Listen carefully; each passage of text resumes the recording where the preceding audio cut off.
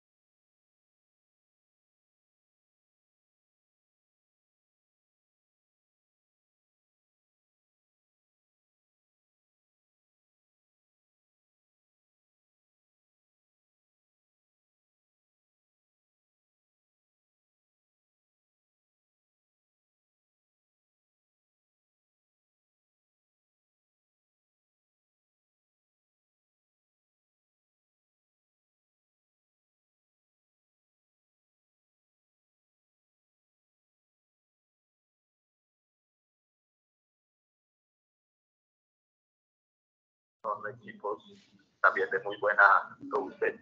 Perfecto. Listo. Bueno, bueno, profe. Cuídese mucho, Gislen. Gracias por su invitación. A usted por la atención, la deferencia con nosotros. muchas gracias. Le agradezco.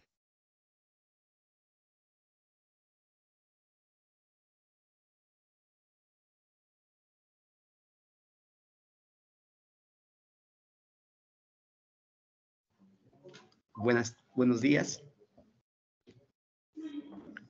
¿Sí me escuchan? Sí, doctor, buenos días. ¿Cómo está? Buenos días, Buenos profe. días. ¿Cómo ha estado? Ingeniera, ¿cómo ha estado? Bien, bien, bien. Bien, muchas gracias, profe. ¿Cómo, cómo se siente? Muy bien. Ah, bueno, bueno. Bienvenido, profe. Aquí Muchas estamos gracias. con José. Eh, cualquier cosa que necesite, eh, nos comentan. Laurita también está con nosotros. Si necesita alguna ayuda, alguna colaboración, pues nos dice en la presentación y estaremos ahí pendientes. Bueno, Eh, después de, José, eh, después de que su merced hable, yo voy a dar unas pequeñas palabras para el profe y, y para comentarte, ¿sí? Sí, señora, está muy bien. Bueno, muchas Así, gracias. así lo haremos. ¿Me Gracias, escuchan bien con, con los micrófonos? Así Sí, profe. quiero sacar un poquito el ruido de fondo. En sobre 100. Se escucha muy bien, profe. Bueno, me encanta. Buenos días para todos y todas. En contados minutos daremos inicio a la conferencia magistral del día de hoy. Les agradecemos mantener sus micrófonos apagados durante la conferencia para evitar interferencias y recarga del sistema. Ya saben que al finalizar la presentación de nuestro invitado del día de hoy, podrán realizar sus preguntas en el chat. Por favor, absténganse de grabar la presentación, váyase misma. Nosotros estamos realizando la grabación, posteriormente se compartirá y se publicará en el canal de la empresa para la consulta de todos y todas. Agradecemos que se registren en el link que se encuentra en el chat. Al finalizar la el ciclo de conferencias magistrales del año 2023, enviaremos una constancia de asistencia a los que nos acompañan en gran parte de la charla de los viernes.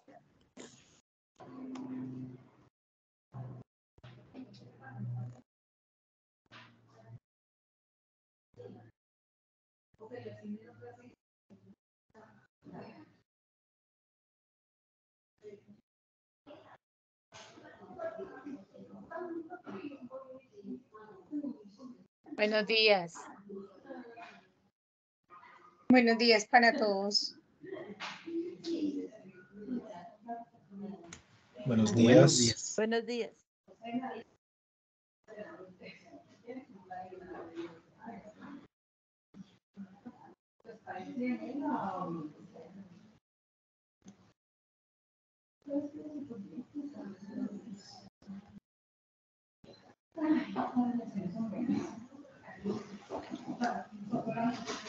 Les damos la bienvenida al ciclo de conferencias magistrales del año 2023 y a este encuentro magistral número 22 con profesionales especializados y expertos en la gestión del agua potable y saneamiento básico como el que tenemos el día de hoy con el profesor Milton Rosero, quien nos hablará sobre la herramienta de epidemiología basada en las aguas residuales, una aproximación científica en ascendente para estimación de consumo de drogas ilícitas.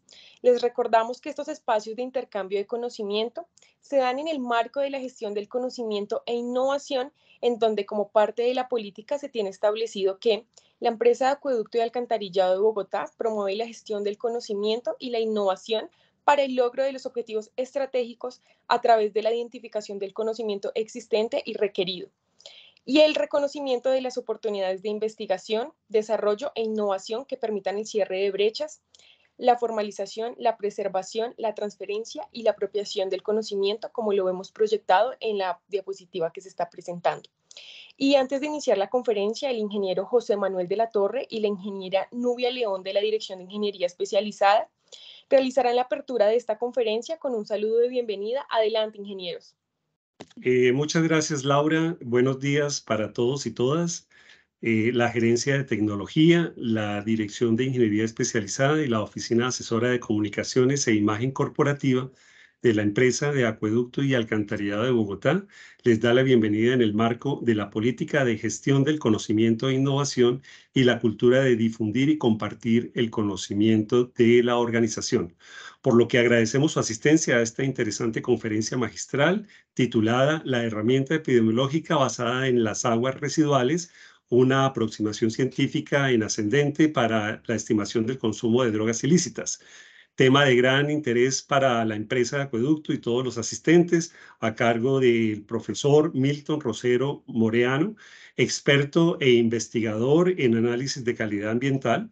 De esta manera damos continuidad al ciclo de conferencias magistrales del año 2023 en las que deseamos seguir contando con su valiosa asistencia y participación en estos encuentros de conocimiento que nos permite construir sobre lo construido. Dicho lo anterior, le doy la palabra a Laura de la Dirección de Imagen Corporativa y Comunicaciones para que continúe con la presentación de nuestra invitada del día de hoy. Perdón, le doy la palabra más bien a la ingeniera Novia León y posteriormente a Laura eh, para que continúe con la presentación de nuestro invitado. Muchas gracias. Ok, José. Eh, José, muchas gracias. Eh, buen día para todos. El día de hoy vamos a presentar un proyecto que se pudo realizar a través de la alianza que ha realizado la empresa de acueducto con la academia, con la Universidad Caldas, sobre los contaminantes emergentes en las aguas residuales. Este tema no está incluido inclusive en la normatividad nacional, pero como siempre, eh, la empresa con la academia ha trabajado en generar nuevo conocimiento eh, que pueda aportar a la calidad de las aguas, sea aguas residuales, o sea, agua potable, en este caso aguas residuales. Eh, quería contarles que esto se logró en el marco de la política de gestión de conocimiento, donde la empresa promueve el generar conocimiento eh, con los grupos de interés, en este caso con la academia, y damos las gracias al profesor Milton, que trabajó en equipo con la empresa de acueducto para generar los resultados que nos va a mostrar el día de hoy junto con la fiscalía y que esta investigación o los resultados que ustedes pueden ver eh, no solamente pueden ser aportados para la parte legal, sino que debe ser aportado para la parte epidemiológica, donde se puede eh, estudiar en futuros eh, investigaciones el estado de salud de las poblaciones de las diferentes ciudades de nuestro país. Dicho lo anterior, le damos las gracias al profesor Milton y le damos la bienvenida y igualmente le damos las gracias a ustedes por acompañarnos en esta transferencia del conocimiento. Mil gracias. Muchas gracias. Y antes de comenzar, conozcamos un poco más de Milton Rosero Moreano. El profesor Rosero, Moreano tiene estudios de pregrado en química, una especialización y maestría en ingeniería sanitaria y ambiental por la Universidad del Valle, una maestría y doctorado en ciencia química por la Universidad de Zaragoza, España, y una estancia postdoctoral intermitente en la Universidad de Chile, Facultad de Ciencias Químicas y Farmacéuticas, del periodo 2015 hasta 2020. El profesor Rosero Moreano ha publicado 23 artículos, ha gestionado más de 30 proyectos de investigación con el sector externo, tiene más de un centenar de participantes en congresos y seminarios, ha dirigido 15 tesis de maestría y 12 tesis de grado y en la actualidad dirige 5 estudiantes de doctorado. Oficia como secretario de la Red de Análisis de Calidad Ambiental en América Latina es co-líder del grupo de investigación en, cromatografía y técnicas afines, escalafonado en A1. Es investigador senior en Ministerio de Ciencias, es director del Laboratorio de Investigación en, en Cromatografía y Técnicas Afines. Actualmente es profesor titular adscrito al Departamento de Química, fue miembro de la misión de sabios por el Departamento de Caldas, Nodo Agua y Cambio Climático, aportando instrumentos para la construcción de la política eh, pública departamental de Ciencia, Tecnología, Innovación y Educación y ahora asume la jefatura de la Oficina de Posgrados. Y después de conocer la amplia experiencia de Milton Rosero Moreano y porque somos agua que cultiva el conocimiento, demos inicio a la conferencia magistral, la herramienta epidemiológica basada en las aguas residuales, una aproximación científica en ascendente para la eh, estimación de consumo de drogas ilícitas. Ah, bienvenido, profesor Milton, adelante.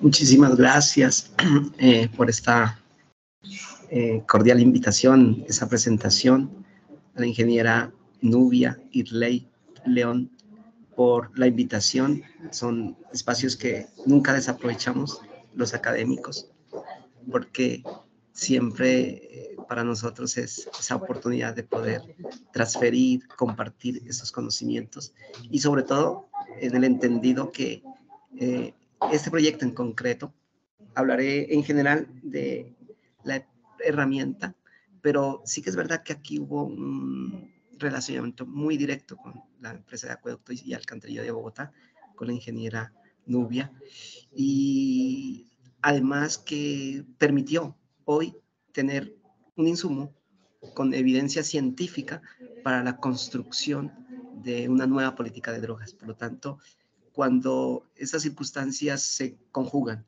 cuando la sociedad, eh, la academia, el Estado y ya los tomadores de decisiones eh, con base en este conocimiento pueden eh, traducirlo en bienestar, pues uno siente como ese alivio de decir realmente la ciencia puede aportarle a, mejorar la calidad de vida de las personas. Entonces, para mí, la verdad es que eh, representa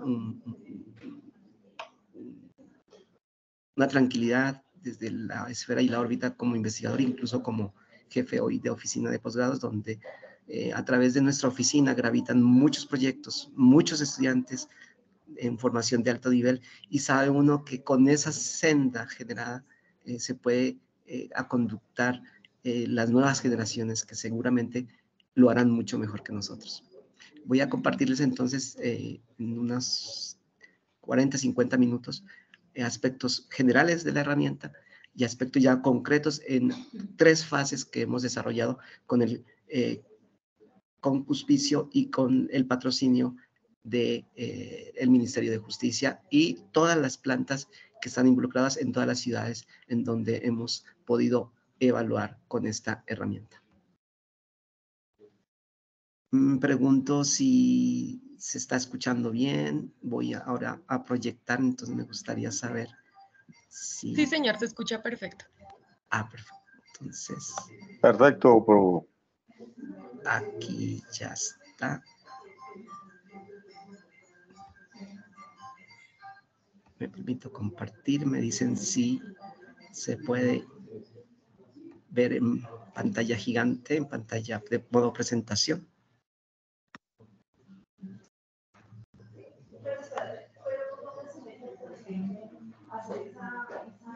Muy bien. Entonces, eh, lo que tendré que decir inicialmente es que esta herramienta, la herramienta conocida como epidemiología basada en aguas residuales, no es una herramienta nueva, realmente es una herramienta que lleva ya de conceptualización alrededor de 20 años. Eh, el espíritu de la herramienta consiste en evaluar en las aguas residuales, en la entrada de las plantas de aguas residuales, una pareja de compuestos químicos. Normalmente, la molécula de interés, como lo mencionaba la ingeniera eh, Nubia, Irley, León, el contaminante, en este caso contaminante emergente, y su metabolito.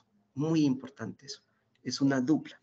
Imposible eh, sin tener esa dupla hacer los retrocálculos que permiten luego, por ejemplo, en este caso concreto, estimar el consumo de este contaminante emergente, sí, porque los contaminantes emergentes, desde la descripción de la UNESCO y ya a través de las distintas asociaciones químicas analíticas y las asociaciones médicas, son todos esos compuestos que ingresan a nuestro ambiente, agua, suelo, aire, flora, fauna, a través de esas conductas antropogénicas, habituales, rutinarias, recurrentes, ¿sí? consuetudinarias, y hace que esos contaminantes, al provenir de este tipo de conductas y estos comportamientos, parecería que son inocuos. Pues no, revisten peligro, revisten riesgos de la salud y eso es lo que hoy se está tratando de catalogar, que estas moléculas de consumo moderno, postmoderno incluso, ante diferentes circunstancias, no vamos a juzgar. Profesor Milton. Sí. Qué pena la interrupción. Eh, profesor, eh, la pantalla no se está viendo en pantalla completa. Entonces, en la parte inferior derecha creo que hay como una copita y le puedes dar como clic y creo que ya se proyectaría. Ah, perfecto. Qué raro porque yo aquí la veo ya completa. Me confirman nuevamente y yo aquí le doy modo presentación y me aparece modo presentación ustedes, ¿no? No, no, señor. A ver, espera un momento entonces.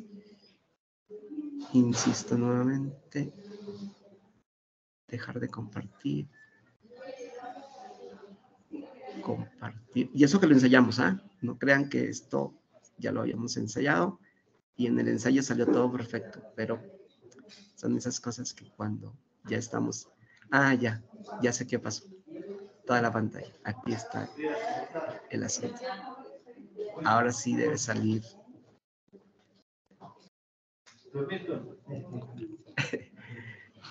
Ahora sí. Ustedes me dicen que sí, sí o no, porque ya me metí por pantalla completa. Ahora sí. Sí, profesor, perfecto. Ya, profesor. Y lo que está todo súper bien. Perfecto. Entonces, esos contaminantes emergentes hoy están siendo catalogados, estudiados, porque sí hay una evidencia ya en salud ya en ambientes, ya en los distintos sistemas que tienen afección. Entonces son moléculas que por más que se consuman, por más interiorizadas que estén en nuestras vidas, las moléculas de cuidado personal, las moléculas farmacéuticas, las moléculas de los procesos en distintas etapas industriales, son moléculas que por su carácter se constituyen contaminantes de preocupación emergente. Y en esa categoría muy pequeñita porque son un gran número de moléculas, vamos a estudiar estas, las moléculas que tienen directamente relación con drogas de uso ilícito y abuso. Pero ya concretamente la herramienta lo que busca es establecer a través de esta eh, conceptualización es estimar el consumo de la molécula teniendo en cuenta su metabolito, un metabolito que está en alta concentración, que se puede detectar, que es estable, que se conoce su eh, eh, metabolización y su porcentaje de excreción, a través del cual entonces con la carga en la planta, con la normalización en la población, a través de unos factores de cantidad de excreción yo puedo devolverme con el metabolito, porque claro, ¿cuál es la ventaja de esta herramienta? Que son moléculas que se consumen, por eso es una herramienta para estimación de consumo, se puede hacer para otras cosas, ya lo veremos más adelante, pero claro, teniendo el porcentaje de excreción y de consumo, yo puedo devolverme sabiendo que esta es la molécula consumida y que este es el metabolito generado por el consumo de esa molécula. No puede haber otro. Por lo tanto, aquí el error en la incertidumbre, en la estimación es cada vez menor. Y devolverme entonces y calcular cuál es ese consumo estimado.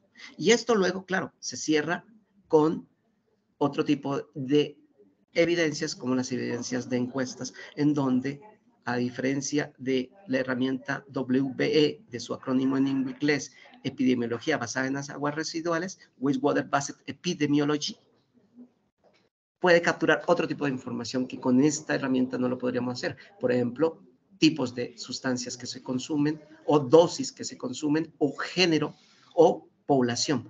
Porque claro, cuando nosotros lo hacemos, aquí miro eh, una planta que trabajamos en los primeros inicios de esta aplicación de esta herramienta en Colombia, en el eje cafetero hicimos tres ciudades, Manizales, Pereira y Armenia, esta es la planta de tratamiento en aguas residuales en Armenia.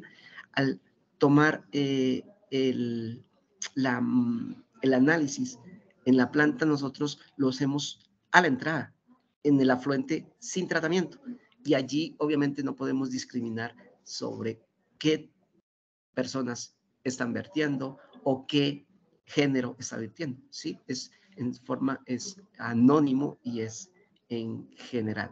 Entonces, tiene unas ventajas, tiene unas desventajas, pero lo que sí podemos decir es que lo que se usa instrumentalmente, aquí pueden ver un equipo, para hacer la determinación de estas sustancias, es equipo muy robusto, tecnología de las más altas calidades, como la tecnología de cromatografía de líquidos acoplado a espectrometría de masas, de tal manera que me permita establecer sin eh, mayor incertidumbre que la que pueda dar las propias resoluciones del equipo, que la molécula está la determino, la cuantifico y su metabolito asociado.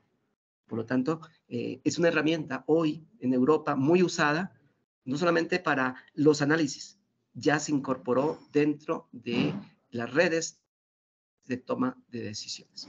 Entonces, en general y en síntesis, podemos decir que es una herramienta que tiene eh, ciertas ventajas, tiene unas desventajas, pero se hace sobre la base de unas estimaciones en plantas en la entrada y con el uso de tecnología muy moderna y muy robusta.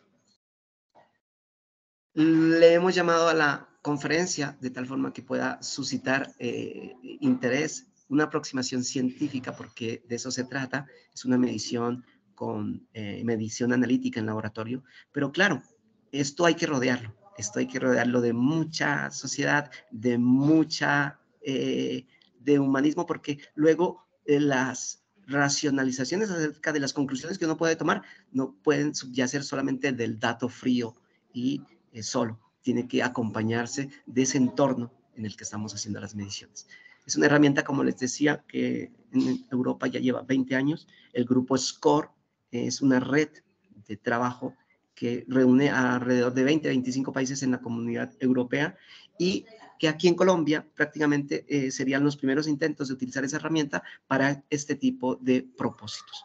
Y a través nosotros de la red de calidad ambiental en América Latina, donde yo oficio como su secretario y seguramente el próximo año estaré ejerciendo la presidencia durante los siguientes cuatro años, queremos vincularnos como red a través de las conexiones con ustedes, la empresa de acueducto de aguas de Bogotá y otras empresas, porque sin plantas de tratamiento eso no puede ser posible, se requiere establecer las entradas en las plantas, el caudal, la población que vierte sus residuos a estas plantas y la información pueda servir y eh, referenciar eh, geoposicionalmente estos consumos y este tipo de consumos.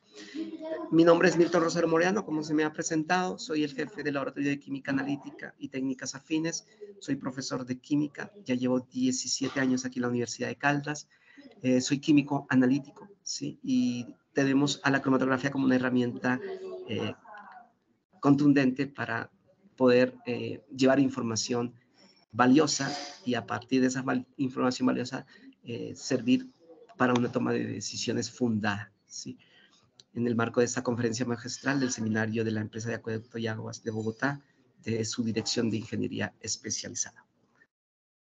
Tendremos que decir inicialmente que hoy, y esto eh, haciendo un recorrido de una revisión que es la Interpol entre el año 2016 y el 2019, eh, publicado en la Forensic Science International, mostraba la evidencia de cómo se relacionan las muertes con distintas relaciones causales.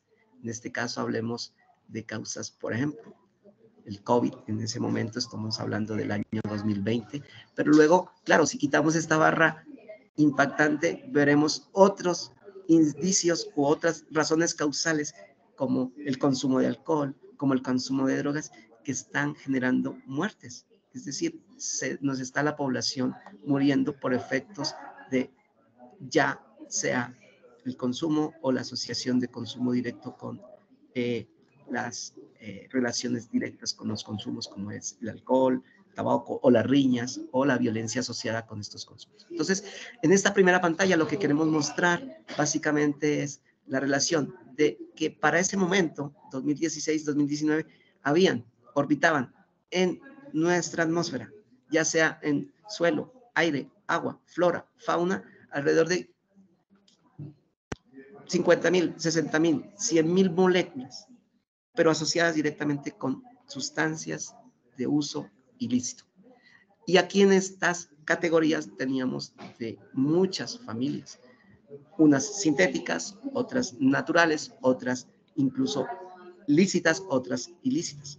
Lo que en últimas refleja esta revisión de la Interpol es que no solamente hay 50, 100 mil moléculas, sino que cada día y cada año se están generando alrededor de unas 5 mil moléculas nuevas, producto de la evolución y de la carrera de las drogas sobre el consumo y sobre eh, el negocio ilícito y la rentabilidad que esto produce. Entonces, en compuestos sintetizados, en compuestos nuevos o incluso en el último estudio de Sueños de Paz de una organización no gubernamental de Colombia, la mezcla de todas ellas sin ningún control, sin ninguna proporción, sin ningún tipo de miramiento sobre cuál va a ser el efecto. Cada vez encontramos nuevas moléculas que están azotando nuestras ciudades y están azotando a nuestras juventudes. Eso, de todos modos, es súper preocupante porque el impacto es directo en número de muertes al año, producto, como les decía, en estas causas de acciones combinadas, consumo de alcohol, consumo de drogas, conflictos, riñas, homicidios y la violencia, producto incluso bajo el efecto de estas sustancias. Claro, entonces ahí está la preocupación, el problema está puesto. Y se ha discutido mucho sobre cuál es la conveniencia o cuál ha sido la acción de las políticas respecto al control o a la legalización de algunas drogas. Y entonces lo que queda en el ambiente es que se está perdiendo esta batalla, porque se están mm, perdiendo vidas. Y cuando se pierde la vida, entonces debe sumarse el mayor esfuerzo para poder disminuir estas consecuencias. Desde el grupo, hace algunos años, nosotros tenemos una concepción sobre el metabolismo urbano. Las ciudades para nosotros son organismos vivos, ¿sí? Las cuales eh, consumen materias primas, agua, alimentos, energía, commodities, y luego ese mm, entorno se transforma con esas entradas y genera unos residuos, unas salidas, ¿sí? Es como tener el in, el out, y en esa entrada y salida genera un entorno que sin duda presta unos servicios y que sirve para el desarrollo personal y el logro de los objetivos, por decirlo de alguna forma, humanos. Y en ese metabolismo urbano que nosotros lo podemos de cierta forma adaptar a esta herramienta, que es la herramienta de epidemiología de aguas residuales, pues podemos decir que efectivamente hay unas emisiones producto de esa transformación y que si lo asociamos con nuestra vida propia, podemos decir que estas emisiones son secreciones, es decir, emisiones de aire, residuos orgánicos, residuos hacia el agua y residuos inorgánicos. Y si ya nos centramos concretamente a las aguas residuales, pues podemos decir que las alcantarillas no mienten bajo esta conceptualización. Bajo esta conceptualización que las alcantarillas no mienten, entonces evaluar esas salidas, como cuando vamos al médico. Cuando a nosotros nos hacen un chequeo, nos piden siempre química de orina, química de sangre. Es decir, un análisis químico de nuestras excreciones. Y allí nos pueden detectar entonces qué nos está sucediendo y cuáles son esas posibles fuentes de esas excreciones y ese tipo de excreciones. Entonces nosotros, amparados en ese concepto de metabolismo urbano, lo que hacemos es usar, o la herramienta epidemiología hace, es usar los residuos de aguas residuales en la entrada sin todavía ninguna transformación, porque aquí todavía tenemos la fotografía de lo que le está sucediendo a esa sociedad, a esa ciudad como un organismo vivo, ¿cierto? Una planta tiene un efecto, genera unos metabolitos. Bueno, aquí esta ciudad como un organismo vivo genera unos metabolitos, por eso le hemos acuñado el término de metabolismo. Y bajo esa dinámica, y si ya nos concretamos solamente en este vertiente, en este vertimiento, pues hablaremos entonces ya de las aguas residuales como epidemiología que nos permite diagnosticar las ciudades. Bajo esta premisa, que las alcantarillas nunca mienten. Ya concreto, con la herramienta de la epidemiología de las aguas residuales WBI, Water Based Epidemiology, que es el análisis de aguas residuales urbanas, normalmente donde tenemos plantas, porque luego sí que cuando lo veamos más adelante requerimos unos valores eh, asociados con la planta que difícilmente se pueden obtener bajo otras premisas. Por eso es importante decirlo que hoy la herramienta se aplica muy bien en sistemas urbanos, que no es excepción para otros sistemas, pero se requieren unas informaciones importantes. Y esto con el propósito epidemiológico, es decir, diagnosticar, censar qué le sucede a ese organismo vivo que es la ciudad o esa sociedad en general. A uno le hacen un examen y le pueden decir particularmente sufre de esto, pero si lo usamos para diagnosticar ciudades, podemos ir implementando, como les decía, sobre la base de una información fundada, científica, información para mejorar de acciones en toma de políticas públicas que beneficien. Para reseñar esta herramienta, ya lo hemos dicho de cierta forma, es una herramienta de hace 20 años que ha ido incrementando en su interés. Europa ya usa esta herramienta para la formulación de política pública. En América Latina eh, no ha sido muy fácil implementarla porque requiere una tecnología muy robusta que no cuenta generalmente en la mayoría de los países, por lo tanto, entonces hay que crear una infraestructura, pero que cada vez va habiendo un interés cuando se habla en términos de formación. Las redes tienen esa ventaja de esa colaboración. Si alguien no tiene una infraestructura, puede ayudarse con su socio. Se requieren las aguas residuales analizadas en la entrada sin ningún antes de cualquier tratamiento de una población, porque aquí lo que hay es una información valiosa, lo decía, es un metabolismo urbano, es decir, es poder usar ese residuo, como lo llama Banco Mundial, del residuo a la información como óptica para establecer qué les duele a la sociedad. Y ese residuo hasta ahora lo digo, en Europa se usa, nosotros lo hemos subestimado porque pensaríamos que es un residuo que huele muy feo y generalmente nadie quiere tener una planta cerca a su ciudad, ni quiere tener un relleno sanitario cerca de su ciudad, ni quiere tener la basura cerca de sitios que tienen valor. Pero si vemos el poder de la información que podemos extraer de allí, entonces hoy hablamos de eso, de pasar de ser un residuo a ser una fuente potente de información. Pero también es la limitación del aspecto analítico, como les decía. Para ese tipo de estudios se requiere una tecnología muy moderna que no todos contamos, pero entonces que sí podemos asociarnos para conseguir. Se requiere unos desarrollos analíticos importantes. Obviamente el equipo no lo hace todo, se requiere personal científico que pueda eh, generar toda la información, pero a través de métodos validados. Ahora hablaremos un poco de eso. Ese es nuestro trabajo generalmente aquí en el laboratorio. Somos químicos, somos analíticos, somos cromatografistas y esta parte es la que nosotros trabajamos como una premisa de eh, trabajo constante. Es decir, el dato debe ser un dato confiable, válido, porque a partir de un dato se toman decisiones y mejor aún hoy que son decisiones que sirven para construcción de política. Entonces, el, análisis de químico de esos datos tiene que generar toda esa confiabilidad, esa confianza a través de lo que le llamamos nosotros la validación.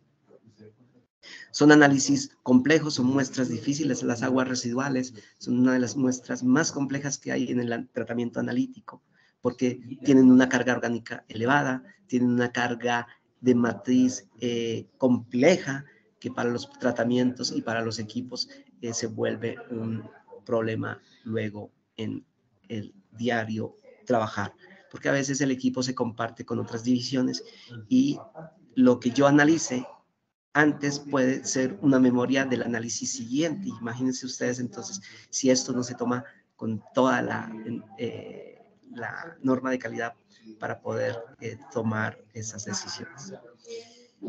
Importante, lo que les decía, se requiere analizar duplas los marcadores o biomarcadores, que son esas moléculas que se generan estrictamente a partir del metabolismo. O sea, aquí es urgente y necesario eh, tener de lo que quiera estimar el marcador producido a partir de ese consumo. Entonces, claro, hay mucha bibliografía, hay nuevas drogas que están saliendo, miren, comentábamos, están saliendo 10.000, 15.000 moléculas nuevas y sobre ellas si se desconoce qué molécula se está sintetizando, pues con mucha mayor razón se desconoce qué se está metabolizando. Entonces, hoy hay análisis de moléculas que ya se conocían, que se han consumido, pero las nuevas drogas sintéticas, las NPS, las NBOME, el fentanilo, hoy para nosotros son un reto doble. Primero, montar metodologías para analizar esas moléculas o qué moléculas se están generando a través de incluso de in silico computacional y luego a partir de ahí saber en el organismo qué metabolitos se generan y debe ser, como les decía, un metabolito estable en alta concentración que se pueda detectar, ¿sí? Para que pueda usarse en esta herramienta. Entonces, ya con todo este panorama, lo que podemos decir es que bajo estas premisas, con todas estas eh, previsiones, esta herramienta suministra una información muy importante, inestimable, para establecer estatus de salud, para establecer estilos de vida, para establecer hábitos nutricionales o la exposición a compuestos químicos y biológicos en la población.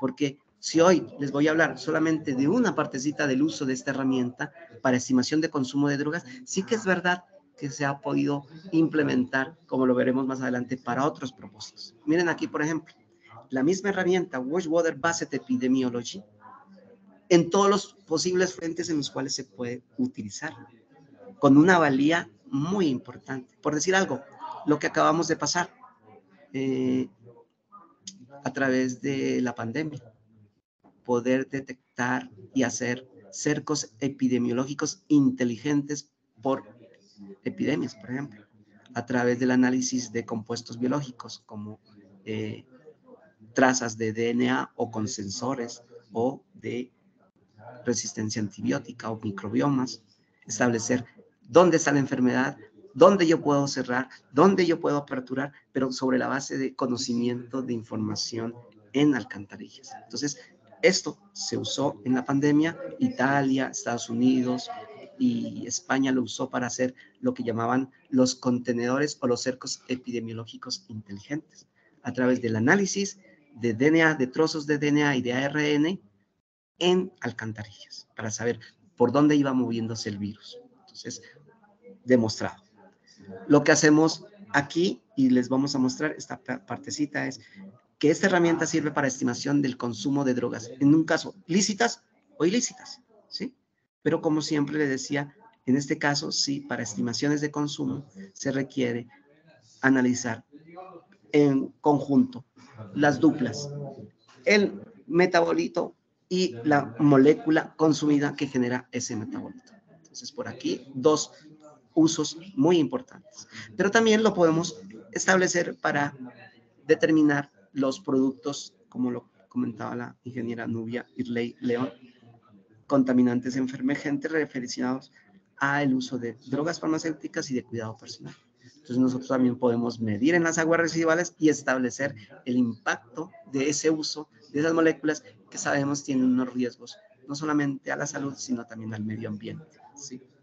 También podemos analizar compuestos químicos como pesticidas,ftalatos, plastificantes, retardantes de llama o compuestos fluorados de eh, uso para distintos propósitos industriales.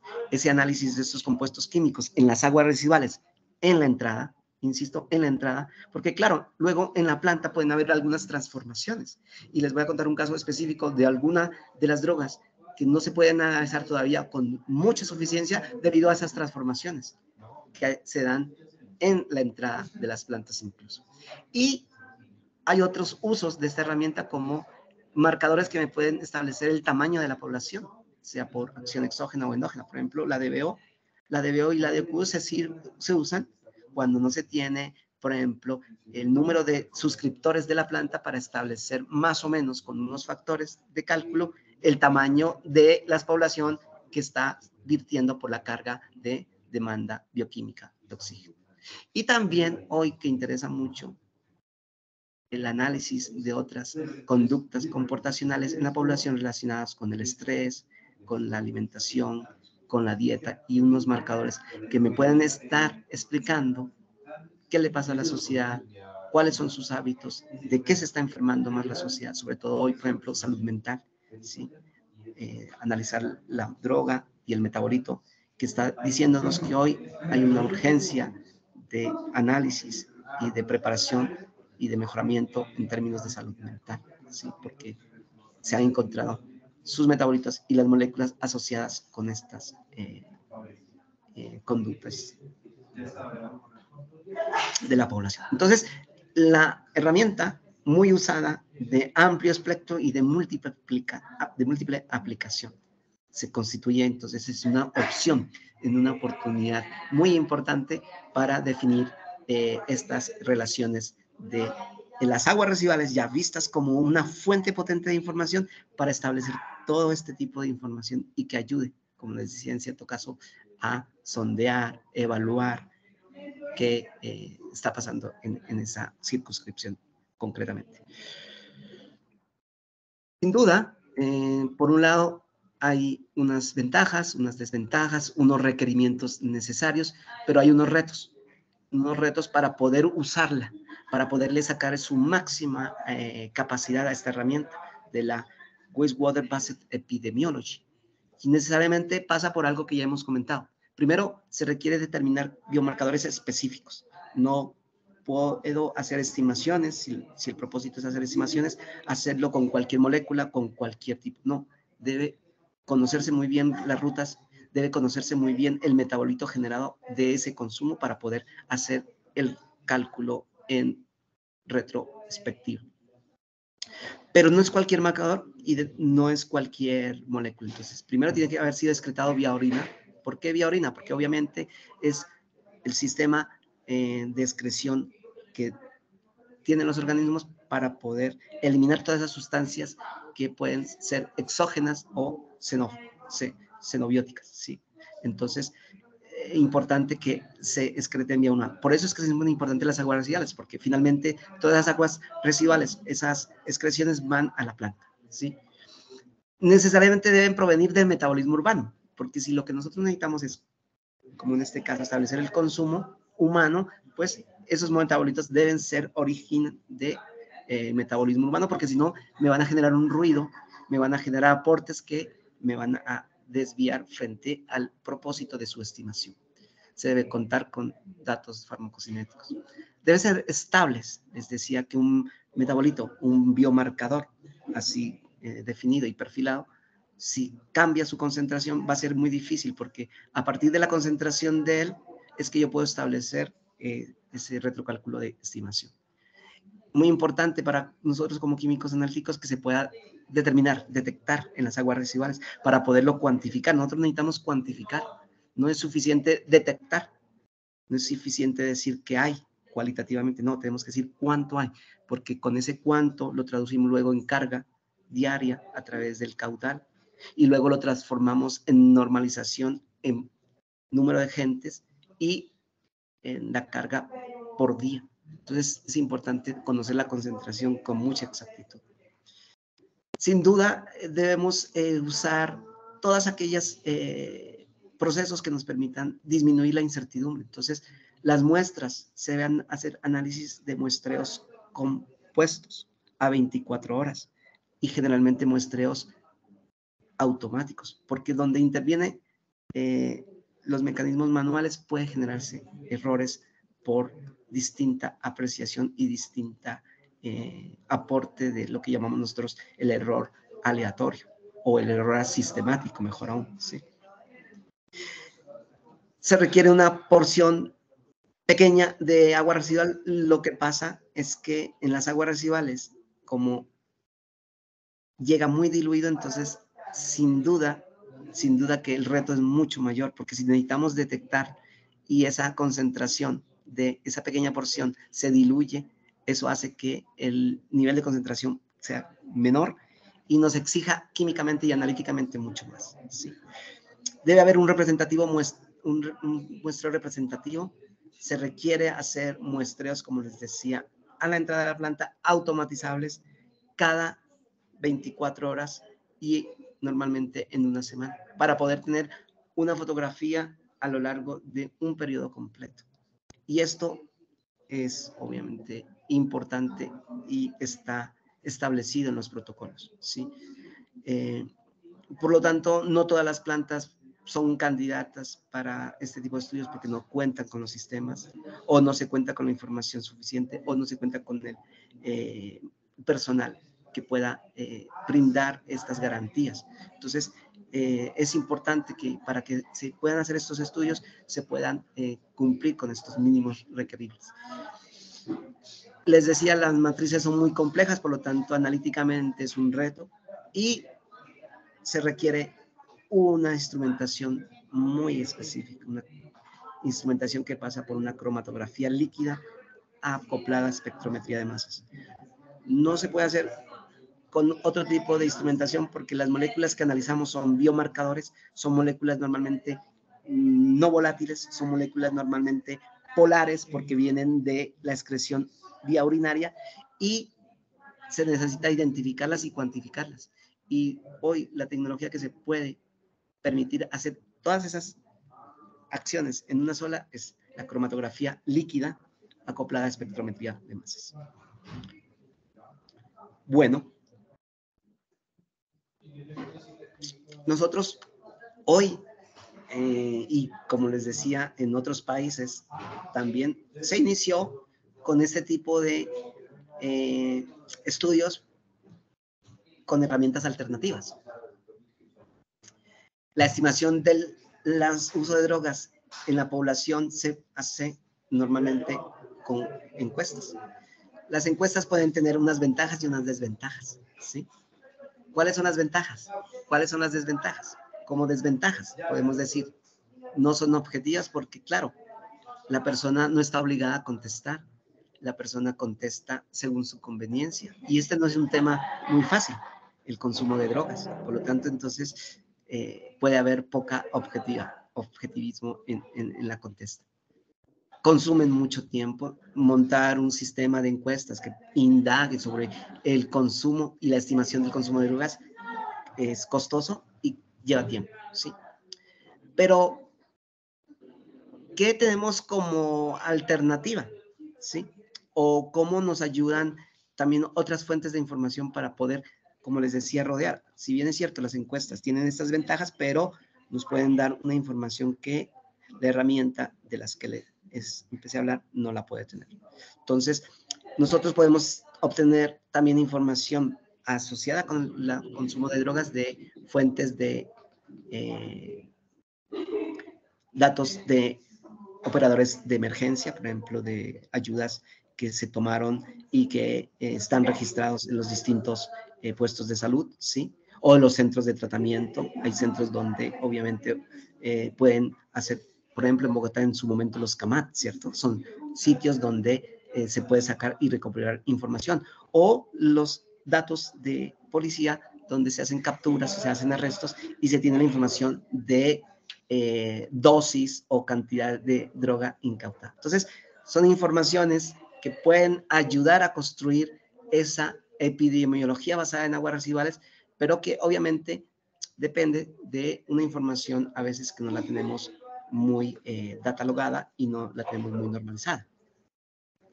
Por lo tanto, esta herramienta, como les decía, brinda unas ventajas desde el punto de vista que es complementaria.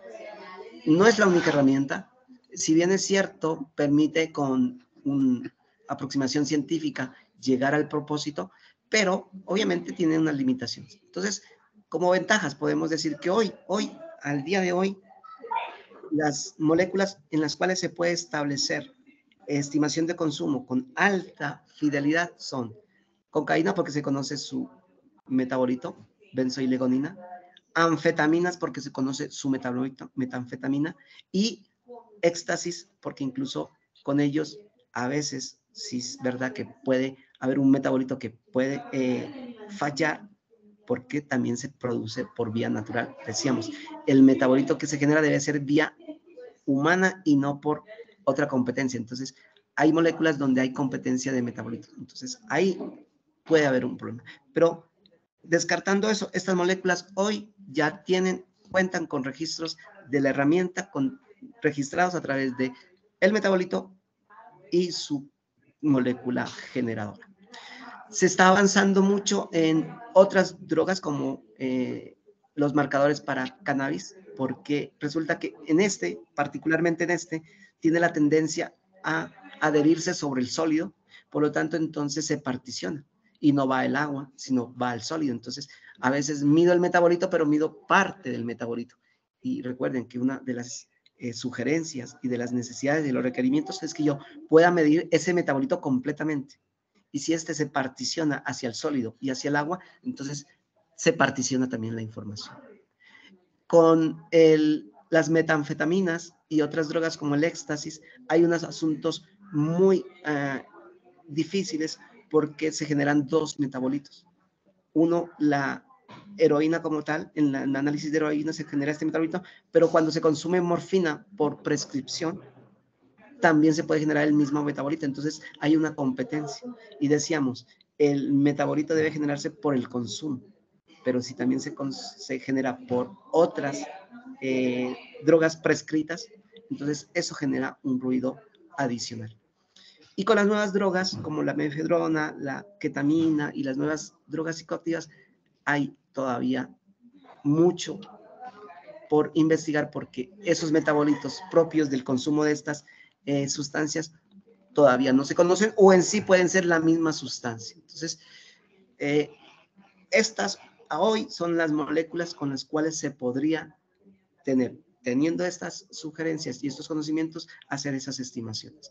De las nuevas o de las mezclas, miren que la situación es mucho más compleja. Aquí, en, a manera de resumen, con un acompañamiento de una bibliometría para establecer cómo ha sido la evolución de esos estudios a lo largo del año, de los distintos años. Entonces, arrancando en 15, 17, 19, 21, establecer el número de estudios que hay asociados con las distintas eh, usos para esta herramienta. Entonces, vemos que, por ejemplo, en epidemiología de aguas residuales, el número de estudios ha ido incrementando y ha ido teniendo mucho interés por, como decían, la valía de su información. Entonces, como ventajas, resumidamente podemos decir, es una herramienta, es objetiva porque se basa en datos científicos, se miden las moléculas, es lo que yo encuentro en las plantas de aguas residuales a la entrada. Es anónimo, no se hacen encuestas, no se le pregunta nada a nadie, sino que se va directamente a la fuente. Son rápidos realmente, cuando ya tengo el método montado, cuando ya tengo todo el análisis y la preparación de muestras establecida, yo puedo eh, fácilmente con el método montado darle al equipo, porque el equipo tiene una automatización y puede leer eh, buen número de muestras en un tiempo determinado, eh, corto. Son datos en tiempo real, porque es lo que estoy midiendo allí en la fuente, ¿sí? No es algo que evalúa en retrospectiva, no, es lo que está saliendo en ese momento. Y podríamos decir que en cierta forma es barato. Es barato porque, claro, si yo monto un método, lo puedo hacer para 50, 100, 200 muestras. En cambio, una encuesta, recuerden que es un montaje en un periodo determinado y con un número de encuestas limitadas, porque, claro, hay que pagar al encuestador, hay que tener el montaje de la plataforma de la recepción y luego el análisis. Entonces, eh, puede resultar incluso más económico. Pero como no todo es positivo, esta herramienta, como la hemos establecido, también tiene sus desventajas. ¿Por qué? Porque no evalúa qué tipo de género, si es masculino o femenino, el consumo. No, tampoco tenemos información porque es anónima y es lo que nos está llegando a la planta, información sobre las edades, ¿sí? No puede darme eh, patrones de consumos individuales o de dosis, porque nosotros lo evaluamos en general, ¿sí? Eh, no me puede dar estrictamente las formas o clases de ingesta y tampoco me puede hablar de la pureza de las dosis o la frecuencia porque estoy evaluando indirectamente a través del agua residual la molécula y no me puede decir nada de la materia prima que llegó ya en transformación. La herramienta requiere unas fases, unas etapas, ¿sí? Que son muy importantes porque son los condicionamientos. Al final, en analítica y en química, lo que uno hace al inicio se refleja al final. Por lo tanto, entonces decimos, se requiere primero una colección de las muestras en la entrada, crudas, con unos muestreos compuestos a 24 horas. Se requiere evaluar todo el ciclo de un día porque los comportamientos en consumos pueden tener picos al mediodía, en la tarde-noche pero a nosotros nos, nos, surge evaluar es un comportamiento cíclico nodal, sin máximos ni mínimos, productos, obviamente sí en una semana, pero no en el día. Entonces, la única forma de poder evaluar esa sincronía a lo largo del tiempo es tener muestreos compuestos a lo largo de todo el día, 24 horas, durante 7 días, al menos en una semana completa, ¿sí? Se requiere hacer el análisis en concentraciones muy bajitas. Aquí estamos hablando en términos de nanogramos por litro, es decir, estamos hablando de compuestos emergentes en trazas e incluso ultratrazas que requieren el análisis y el uso de equipos modernos de cromatografía líquida acoplada a espectrometría de masas con Tandem y estos equipos son altamente costosos y requieren un personal muy tecnificado para poder eh, hacer la evaluación. Luego, con las concentraciones pasamos a carga diaria con el uso de el caudal. Por eso esta información se requiere tener en la planta. ¿Cuál es el caudal de la planta en la entrada para establecer a partir de la concentración transformar eso en cargas diarias de los residuos objeto o diana de las aguas residuales, tanto del metabolito como del analito consumido. Y eso se llevan a unidades como gramos día. La Cuarta etapa es normalizar, porque si yo quisiera comparar, tengo que llevarlo a una misma base de comparación. Y a eso le llaman la normalización sobre la población estimada. Y aquí se requiere entonces establecer cuánta es la población que tiene área de acción sobre esa planta. Es decir, los suscriptores, pero en términos per cápita, es decir, persona, para poder normalizar, en este caso, a una cota de mil habitantes y luego sí, en esta carga y normalizada, hacer las respectivas comparaciones. Pero luego, al final, como quinto paso, hacer las famosas eh, correcciones con la factor de excreción y las tasas de excreción. ¿Y esto por qué? Porque obviamente nosotros hacemos el análisis del metabolito que se generó por ese consumo y solamente por ese consumo es de origen humano y nos devolvemos a través de la tasa de excreción y esa tasa de eh, eliminación para poder estimar con el metabolito el analito consumido. Básicamente, en eso consiste.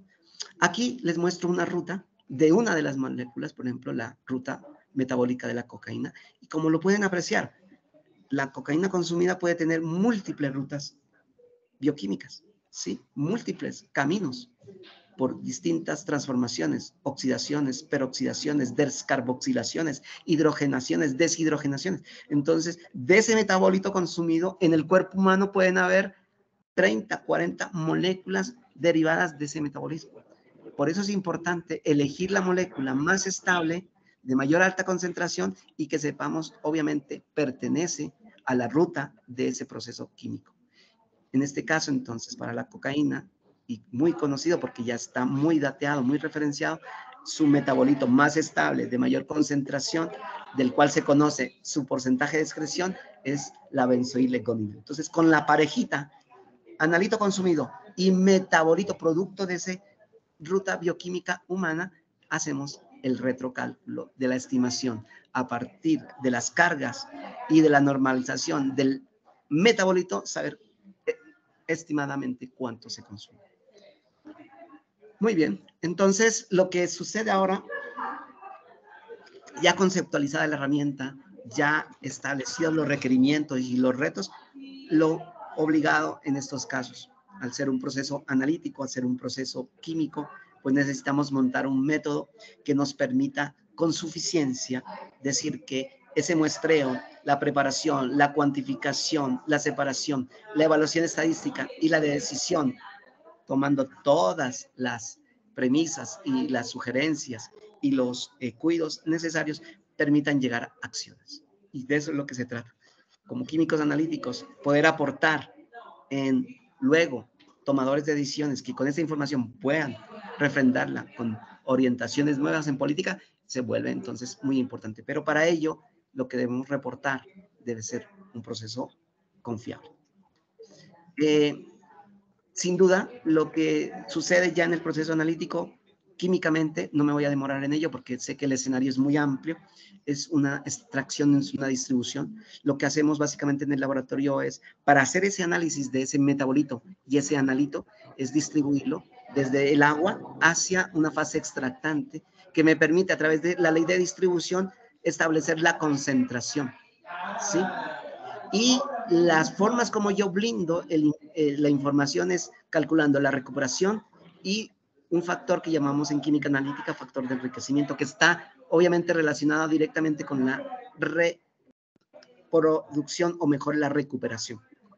Entre más alta la recuperación, yo podría decir que mi proceso es más eficiente y que lo conozco y sé químicamente y desde el proceso termodinámico cómo se me va a distribuir. Y siempre lo que busco es que haya más en la fase donde yo analizo, donde yo extraigo, es decir, la fase extractante. Entonces yo consigo el mejor extractante, la mejor fase para poder atraer ese analito y luego analizarlo en los distintos equipos y las distintas instrumentaciones. Para ello nosotros hemos usado distintas técnicas, de hecho somos fabricantes de esta tecnología, la microextracción en fase sólida, fue inventada por el doctor Janus Paulisin de la Universidad de Waterloo, has visitado mucho nuestra región, nosotros tenemos nuestros propios dispositivos que permiten esas moléculas. Miren, aquí lo que movemos, miramos son esas moléculas, moléculas químicas que las atraemos con ese absorbente, la fase extractora. Y luego nos las llevamos a los sistemas de análisis. Los, inyecta, los extraemos de la muestra de agua y los inyectamos al sistema cromatográfico que nos permite identificar y cuantificar las dos moléculas, el analito y el metabolito. Obviamente hay que observar unos principios químicos de cuántas moléculas yo puedo eh, extraer y en qué tiempo los puedo hacer. Y esto en función de esas características físicas de esos absorbentes y del proceso mismo. Pero no me voy a detener porque sé que el auditorio es muy amplio. También lo hacemos con extracciones de disco rotatorio, pero tiene la misma conceptualización.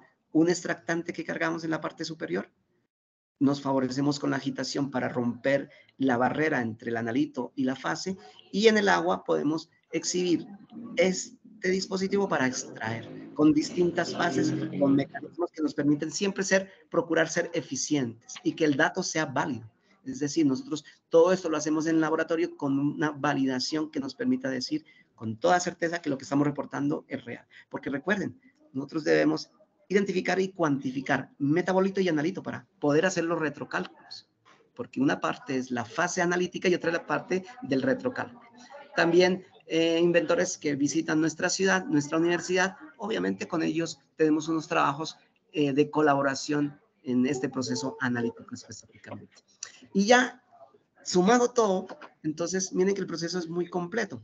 Tenemos que ir a muestrear, un muestreo que sea riguroso, 24 horas, generalmente en automatizable. Aquí obviamente cuando en la región no hay plantas, no hay procesos, tenemos que hacerlo eh, de forma manual, pero tenemos que describir cómo se hizo y dejar la nota que son procesos manuales. Preferible, como les decía, los muestreos. Y obviamente esa información debe también de esa forma tratarse con mucho eh, cuidado cuando se hace la divulgación. Se extrae el analito a través de preparación de muestras, extraerlo y llevarlo a la fase absorbente preferencialmente y con mucha eficiencia. Luego al sistema cromatográfico que separa, identifica y cuantifica. Luego la separación química, física, a través de herramientas que nos permite decir qué hay. Y luego sí análisis químicos, estadísticos, quimiométricos que nos permiten clasificar decir estas muestras pertenecen a esta población, estas otras a esta población a través de segregación por componentes principales que nos permiten modelar y desagregar la información para poder tener esas diferenciaciones entre muestras, entre días o entre réplicas incluso. Bueno, vamos a la parte del cálculo que creo que es el que interesa ahora. Como les decía, sustancia consumida, excretada a través de la orina, arrojada a través del retrete y muestreada en la planta a la entrada y luego evaluada a través de todo el proceso analítico.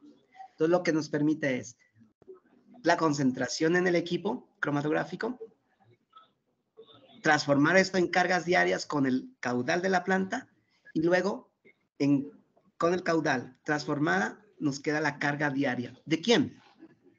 Seguramente lo puedo hacer del analito, pero me interesa más del metabolito porque yo hago un retrocálculo a partir de la sustancia que sé con seguridad que es la generadora o que se genera a partir del consumo. Entonces, lo hago con el metabolito. Ya tengo carga diaria, luego esa carga diaria la normalizo en la población que aporta directamente sobre la planta, que lo puedo hacer directamente o con otra información de tamaño de población, lo decíamos de la DBO, es una forma de establecer el tamaño de esa población o de esa planta que tiene ese aporte de esa circunscripción. Ya normalizado, entonces, hago un valorativo de ese consumo en esa carga diaria de ese metabolito en esa población. Y después, con los valores de corrección para las duplas, miren, aquí está la droga, el marcador.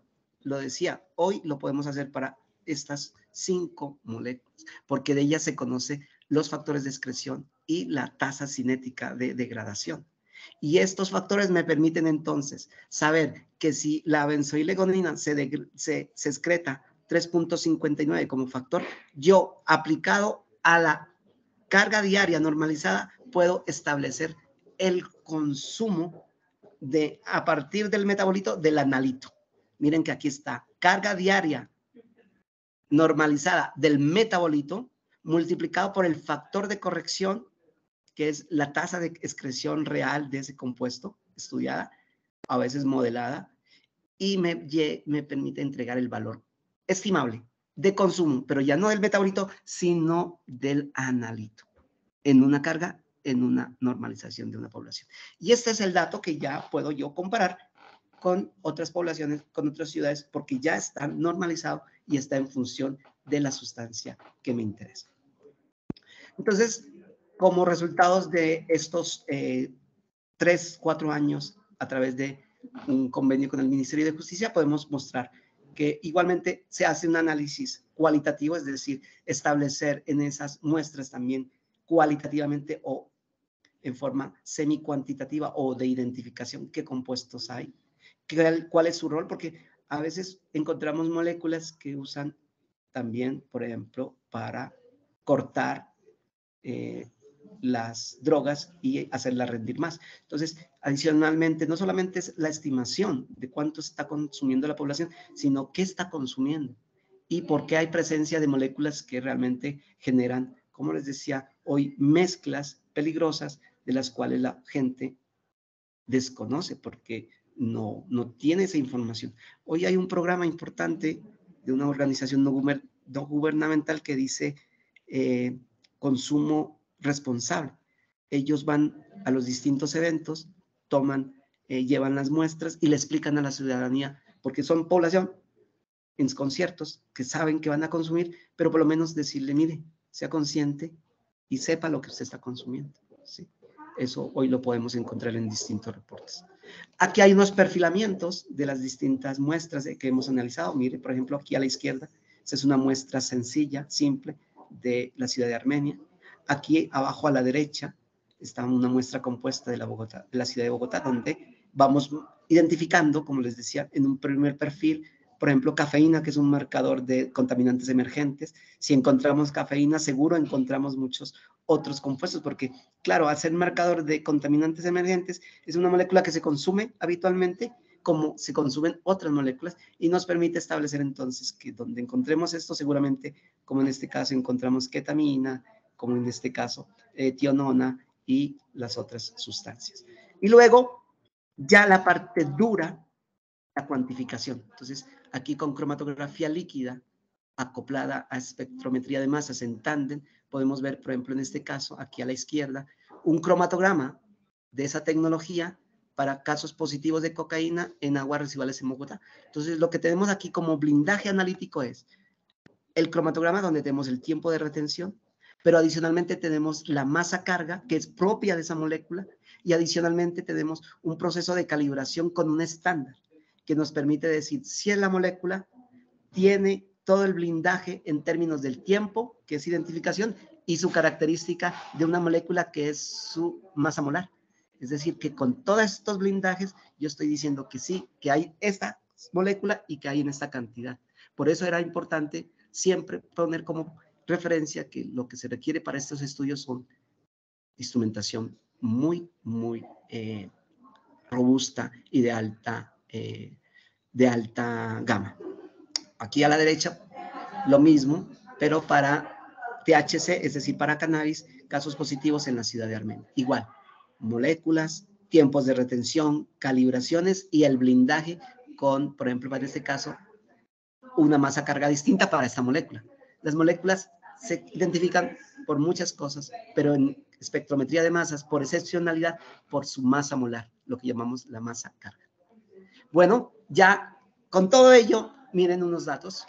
Consumo en Bogotá durante una semana. Aquí lo que hablamos es de miligramos día por mil habitantes, ya normalizado, y hablando estrictamente de consumo de cocaína, es decir, ya el dato está con todos los factores aplicados. La normalización, la tasa por carga día y el factor de corrección. Entonces estamos hablando que un lunes, martes, un miércoles, un jueves, un sábado aumenta y baja un domingo. Entonces estamos hablando de 2.000 miligramos día por mil habitantes en un sábado y de 600 miligramos día por mil habitantes en un lunes o domingo de consumo de cocaína con la herramienta para Bogotá en el año 2021 eh, que hicimos con ustedes allí en la planta del Salitre a la entrada del canal. Miren, una comparativa con Río de Janeiro, también 2010, 12, 14, 17, 18. La idea es poder tomar estos muestreos anuales, por lo menos tener un dato anual para poder hacer esta evaluación. Miren, evaluación, miren, por ejemplo, en Río de Janeiro, el carnaval dispara el consumo, lo pasa de un 2000 a un 6000, es decir, son conductas que uno eh, esperaría, obviamente, en estos tipos de eventos. Aquí tenemos un comparativo ya global. Bueno, Bogotá no se ubica dentro de las más altas de consumo, sobre todo porque miren, ciudades con el mismo nivel, pero obviamente esto responde, y esto ya es comparativo porque aquí está normalizado. Entonces, miren el asunto en Pereira, miren el asunto en Medellín, miren el asunto en Armenia, y esto es conocido y además coincide coincide con el observatorio de drogas. Por eso es importante que estos datos se contrastan con la información que se tiene de otras fuentes. Yo lo hemos, lo hemos dicho, es una información complementaria, no es absoluta.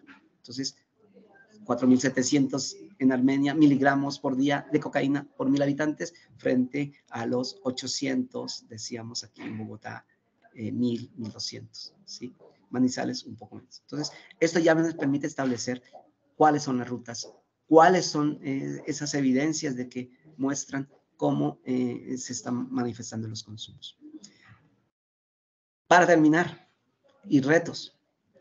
Obviamente es una herramienta muy poderosa, se está implementando en otros países, brinda una información con un carácter científico alto y que necesariamente permite establecer ese movimiento de distintos consumos y distintos tipos de sustancias.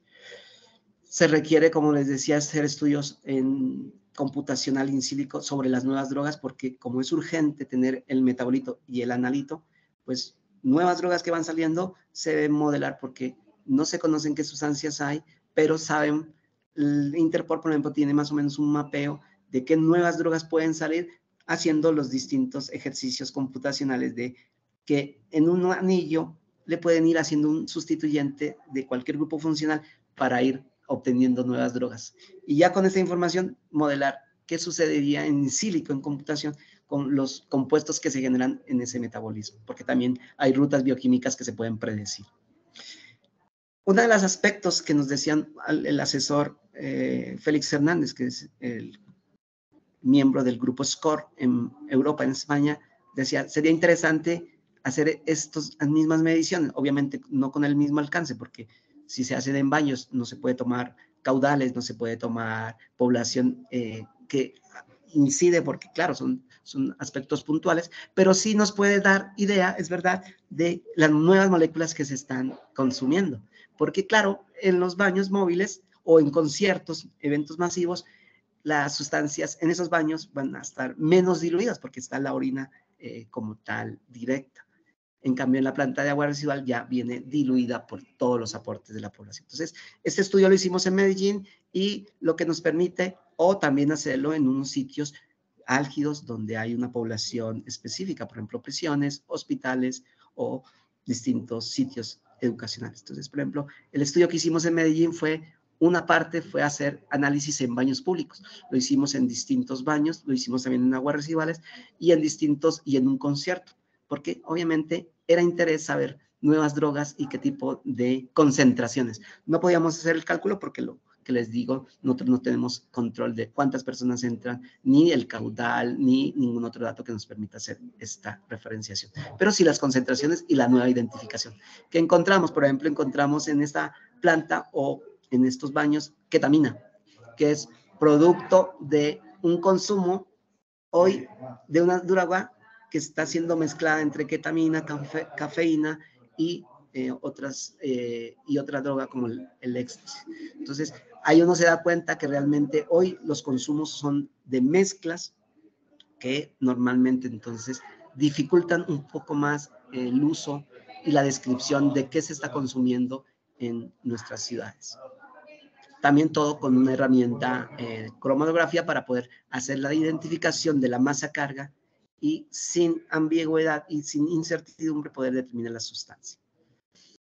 También se analizaron los compuestos de los mm, analitos y metabolitos de la cannabis, porque obviamente, como les decía, siempre es obligado analizar la molécula y el metabolito que se genera, porque con esa pareja sí se puede establecer el consumo. Pero como es en baños públicos, pues nos interesa la identificación y en plantas sí podríamos hacer el retrocálculo.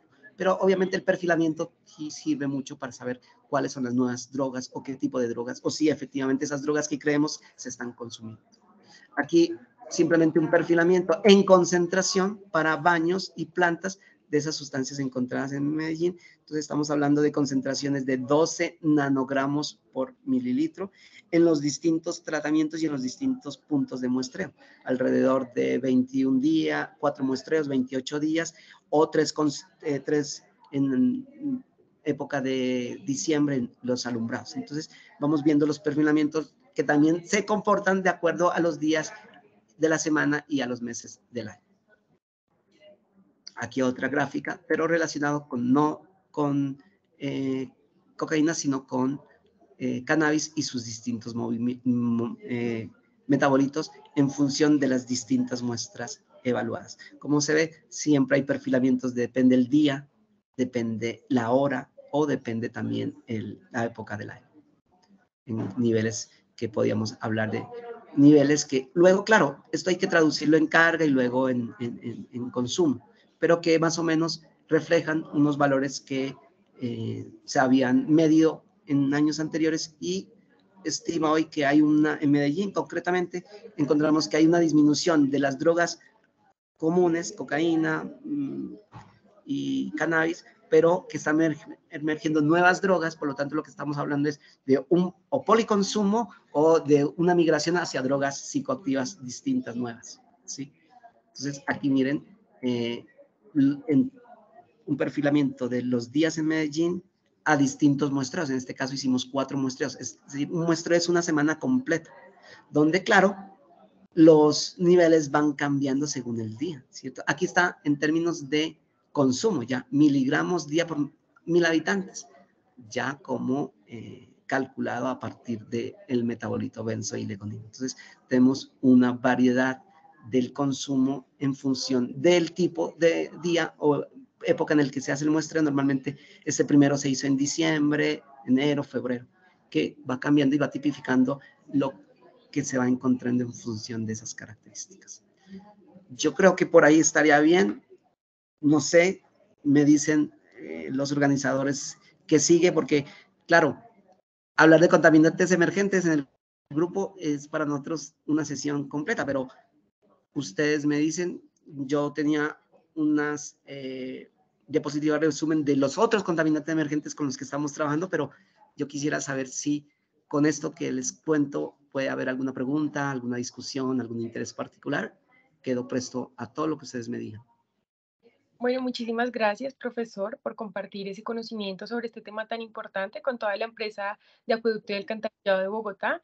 Y antes de dar eh, paso a la rueda de preguntas, les pido el favor de que me acompañen con un fuerte aplauso virtual para el profesor Milton. Muchísimas gracias, profesor, por su presentación. Y damos paso a la rueda de preguntas y o comentarios que tengan. Eh, iniciamos con una pregunta que realiza Harrison Daza Lara y pregunta, hablando específicamente de fentanilo, ¿cómo está la situación en materia de distribución y consumo en Colombia? Bueno, de fentanilo les cuento, aquí para nosotros es una molécula que se vuelve un reto. Se vuelve un reto porque, claro, sabemos que hoy hay un consumo alto. De hecho, hace poquito salió una noticia que por error un consumo en, en infante generó una muerte. Sabemos en México, sabemos en Estados Unidos, es hoy la droga de la actualidad. Nosotros todavía en nuestros estudios no la hemos identificado así en agua residual. Lo que pasa es que es eso, en agua residual tenemos ese, ese sugerente que se diluye y que todavía no conocemos muy bien los metabolitos asociados con, en nuestro caso, con, con, con el, el, fentanilo. Pero sí sabemos que está entrando con fuerza y lo que nos dice el estudio en Medellín definitivamente sí puede dar una idea de que ha disminuido el consumo en las drogas habituales y necesariamente la aparición de una molécula como la ketamina asociada con nuevas drogas psicoactivas puede indicar que hay un policonsumo o una migración a nuevas drogas como la del fentanilo. Pero ya les digo, con esta herramienta hoy no podemos decir nada sobre fentanilo y su consumo. Podríamos decirlo a través de las encuestas, que seguramente en estos eventos masivos o como lo tiene el observatorio, ya de pronto empieza a aparecer. Con nuestros socios del ministerio, eh, la cuarta fase, que sería en Cali, va a tratar de ir a identificar esa presencia ya concreta a través de la herramienta. Muchas gracias. Eh, Adriana Patricia Castillo pregunta, ¿cuál es el de muestra puntual para realizar la muestra compuesta de 24 horas? Perdón, ¿cuál es? Dice, ¿Cuál es el volumen de muestras puntuales para realizar la muestra compuesta? Ah, perfecto. El volumen. Bueno, normalmente en el laboratorio nos piden eh, o necesitamos 200 a 500 mililitros de muestra. Entonces, es dividir esos 200, 500 mililitros dividido 24, para que sepamos que cada alícuota de cada hora sume el volumen total de mínimo que requerimos para los análisis. A veces necesita hacer análisis cualitativo, a veces se necesita hacer el análisis cuantitativo, entonces normalmente uno hace un volumen con un 30% más. Ese volumen con el 30% más dividido las 24 sería el valor de cada alícuota en mililitros que requerimos para que podamos tener el mínimo volumen de muestra para hacer los análisis correspondientes. Gracias. Eh, Nubia pregunta, ¿en otros países se conoce con qué tratamientos se puede remover en sistemas de aguas residuales? Estos contaminantes como tal, bueno, yo les podré hablar de algunas experiencias. Yo tengo un compañero que usa eh, cócteles bacterianos, de hecho lo hizo en la universidad vecina nuestra, la Universidad Nacional. Él trabajó su tesis de maestría con nosotros, con la Fiscalía. Inicialmente él diseñó o identificó, porque esas drogas se camuflan en, en elementos poliméricos o elementos de, de conducción, de transporte. Y luego en su tesis de doctorado, él ensayó con un cóctel bacteriano para poder estudiar la degradación. Por ahí sé que se ha logrado algo. También hay estudios enzimáticos de degradación de otros contaminantes emergentes con unas estructuras muy parecidas, anillos bencénicos o anillos eh, piridínicos igualmente recalcitrantes, donde las enzimas y el cóctel enzimático ha eh, permitido hacer eh, su eh, destrucción o mineralización.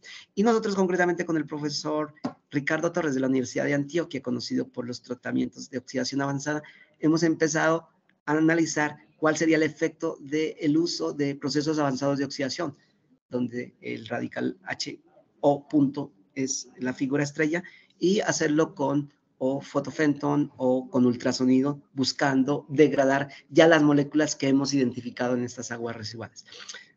Pero eh, para ah, el conocimiento, obviamente se ha hecho en estudios piloto, no se ha hecho estudios todavía escalables y el asunto es que a veces la degradación puede generar sustancias más contaminantes que la misma sustancia origen. Entonces, eso también hay que mirarlo con esa perspectiva. Cuando son técnicas de mineralización completa, podemos eh, tener un proceso decididamente mucho más confiable. ¿sí?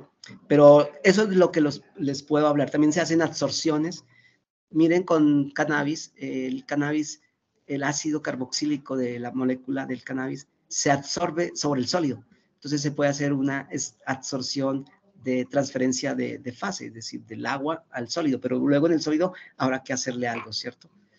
Eso es lo que puedo comentarles al respecto de posibles tratamientos, pero con esa premisa que hay que estudiarlo muy bien y saber qué se forma después de ese tratamiento, porque puede ser más perjudicial. Muchísimas gracias. Eh, Jordan pregunta, ¿cómo han controlado los inhibidores de la Perdón, ahí se cortó en cómo hemos controlado la. ¿Cómo han controlado los inhibidores de las muestras? Los inhibidores de las muestras.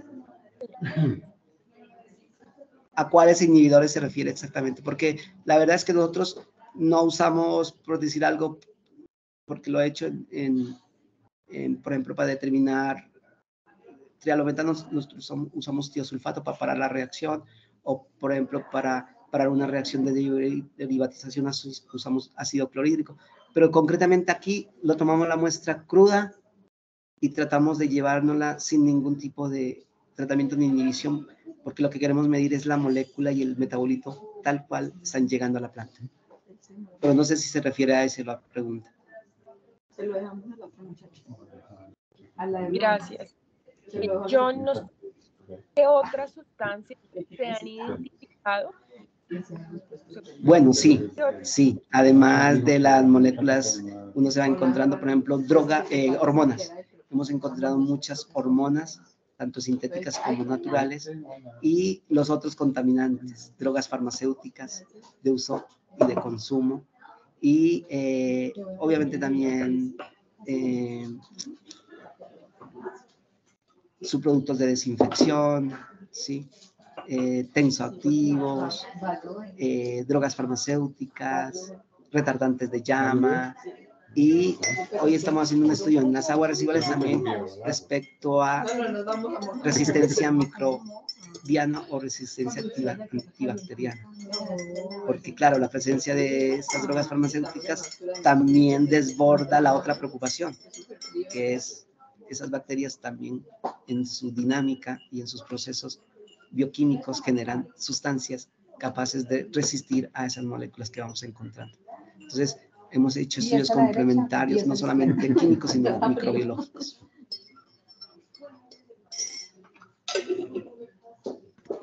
Perfecto, profesor, gracias. Eh, preguntan también, Nubia dice, ¿qué impacto pueden tener estos contaminantes emergentes sobre la biota los ríos y en salud pública si se acumulan en el agua de los ríos?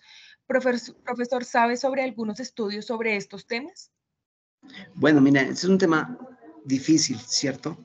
Eh, de hecho, siempre ha sido mi pregunta, ¿será que nos estamos convirtiendo en consumidores pasivos? Porque claro, al esas moléculas pasar a través de las plantas de tratamiento, algunas porciones, la porción que se absorbe sobre el sólido podrá ser retenida, pero las que no podrán pasar a través del tratamiento, llegar a las afluentes y luego esos afluentes se vuelven eh, fuentes de captación para otras plantas. Entonces, siempre me ha sido mi inquietud, ¿será que nos estamos volviendo consumidores pasivos? Pues al respecto, sí hay estudios, se puede hablar de que las concentraciones que están llegando a las plantas son importantes. De hecho, miren, estamos hablando de nanogramos litro, por lo tanto, eh, a mí me parece que es menester que las entidades como las de ustedes puedan hacer un análisis completo de la calidad del agua, pero no solamente de los contaminantes físicos y químicos, sino también de los y de los biológicos, sino de ese tipo de contaminantes emergentes. Yo creo que nuestra regulación ya debe implementar el análisis de contaminantes emergentes, porque definitivamente creo que sí, creo que sí nos estamos eh, volviendo consumidores pasivos, no solamente de este tipo de moléculas, sino de toda esa gama de moléculas que llegan a los tratamientos y como las plantas no son diseñadas para removerlos, pasan a través de los tratamientos y se vuelven luego en eh, insumos de esas nuevas fuentes dedicadas a la potabilización. Y ya los riesgos están conocidísimos, los riesgos a la salud, al medio ambiente, porque son efectos de moléculas eh, recalcitrantes, moléculas que tienen efectos sobre eh, sinapsis o efectos sobre directamente sobre algunas combinaciones entre las proteínas que luego suscitan eh, muchas complicaciones. Gracias, profesor Milton. Y Nancy pregunta, profesor, dice, profesor, muchas gracias por su investigación. Pregunta, ¿usted conoce información sobre las acciones de intervención que se han generado en Colombia con este diagnóstico? Bueno, les podría hablar de las acciones políticas y luego de las acciones técnicas. Como políticas podemos ya tener hoy que el ministerio está preparando una nueva política de drogas, no solamente a raíz de esta información, sino en general por lo que veíamos geopolíticamente, la política respecto al consumo no, no, marca buenos resultados. Entonces, estos insumos los toma el ministerio, los está usando para poder tomar y establecer nuevas políticas respecto al consumo de drogas. O sea, ahí ya hay un efecto y un impacto importante. Y ya técnicas, realmente hoy no tenemos nada en la regulación, nada en la normatización, porque incluso ni las moléculas que consideramos emergentes de uso diario, que no representan todavía lo que llamamos el consumo ilegal, ¿no? Aquellas moléculas de consumo lícito, ¿sí? Cafeína, eh, todas las drogas de uso farmacéutico, de cuidado personal, de sus productos de desinfección. Esas hoy no están incluso ni reguladas. Entonces, en términos técnicos todavía hoy en legislación estamos muy, muy crudos y en pañales frente a lo que podríamos hacer. En mi concepto, deberían ya incluirse, irse incluyendo estos contaminantes emergentes como obligatoriedad en los análisis. Muchísimas gracias, profesor Milton. Y bueno, muchas gracias a todos y a todas por participar. Eh, recuerdo agua que cultiva el conocimiento. Nos vemos en una próxima oportunidad. Resto de día para todos y para todas. Y nuevamente, muchas gracias, profesor Milton. Buen día. Muchas gracias a ustedes, a la ingeniera Nubia Irley León, por la invitación, por la cooperación. Esto no se puede hacer sino cuando hay personas que comprenden, entienden y alcanzan a establecer la dimensionalidad del, del, proceso. Esperáramos continuar con estos estudios y sabemos que el Ministerio está muy interesado en que nos podamos suscribir a la red europea y podamos desde Colombia empezar a generar los primeros datos, insumos para poder hacer ese mapeo latinoamericano sobre este proceso que preocupa y hoy eh, recurre y requiere eh, la suma de todos los esfuerzos, no solamente técnicos, sino políticos y de la academia y del gobierno. Por lo tanto, para mí es la felicitación para ustedes. Mil gracias por compartir su conocimiento, profe. Muchas gracias. Buen día. A ustedes, muy amables por la invitación. Muchas gracias. Gracias. Muchas gracias. Buen día para todos. Hasta luego.